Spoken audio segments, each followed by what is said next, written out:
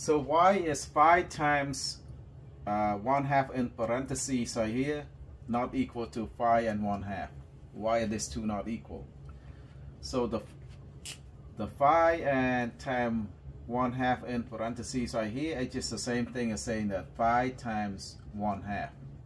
Okay? So we put a 1 on the bottom.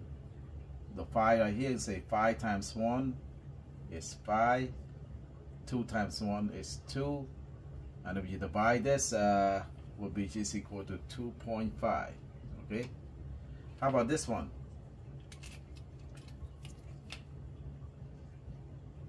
Five and one half.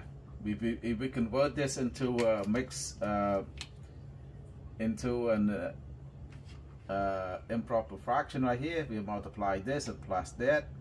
So 5 times uh, 2 is 10, 10 plus 1 is 11, 11 over 2. So what's 11 over 2? It's just equal to uh, 5 times 5 uh, equal to 5.5. So as you can see right here, 2.5 is not equal to 5.5. All right. So thank you so much for watching. If you like my videos, please like, share, and subscribe. Bye-bye.